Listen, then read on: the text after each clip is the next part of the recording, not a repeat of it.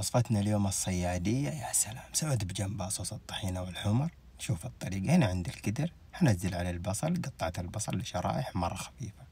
بعدها نصب كمية كويسة من الزيت وعلى النار نصير نحرك البصل لين يتحمر. هنا عندنا السمك. شايفين كده لازم تختاروا السمك. شوفوا العيون ما تكون مشوهبة.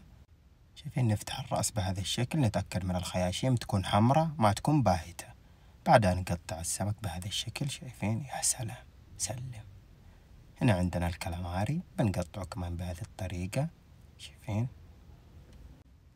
بعدها ننزل البهارات حكتب لكم إياها تحت بالوصف. بيضة واحدة اختياري. نتبل الكلاماري والجمبري مع بعض. ملعقتين دقيق عشان البهارات تتماسك. على الجمبري والكلاماري بهذا الشكل. يا سلام. نصير نحرك البصل لين نوصل للون المطلوب. شايفين؟ بهذا الشكل. ما تخلوه أكثر من كده عشان ما الرز يطلع مر. بعدها نضيف عظم السمك اللي عنده اختياري. عشان يطعم الرز ونحركهم نضيف شوية ثوم ونحرك. بعدها نضيف البهارات حكتب لكم إياها تحت بالوصف.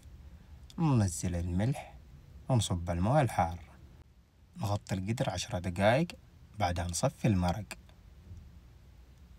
على القدر.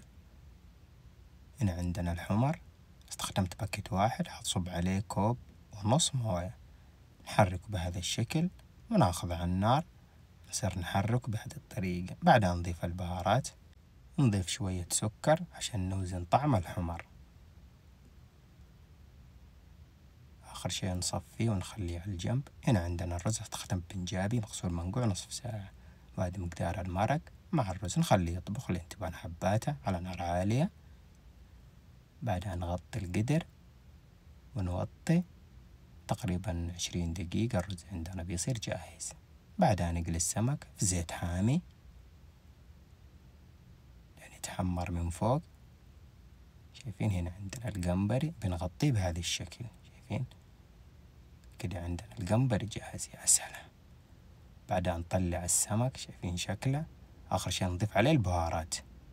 بعدها ننزل الجمبري وآخر شي الكالاماري برضو نغطيه بالدقيق شايفين؟ بهذه الطريقة. هنا عندنا الجمبري صار جاهز بناخذه على المصفى وننزل الكالاماري. أنا البهارات حضيفها آخر شي حكتب لكم هي بالوصف. هنا عندنا الكالاماري كمان جاهز بناخذه على المصفى. شايفين الشكل؟ يا سلام! هنا عندنا الرز كمان صار جاهز. شايفين حباته كيف؟ يا سلام! نغرفه في صحن التقديم. فوقها السمك بعدها نضيف الجمبري يا سلام. وآخر شي الكلاماري آخر شي الكلاماري يا سلام. سلم. وآخر شي الصوصات صوص الطحينة والحمر يا سلام.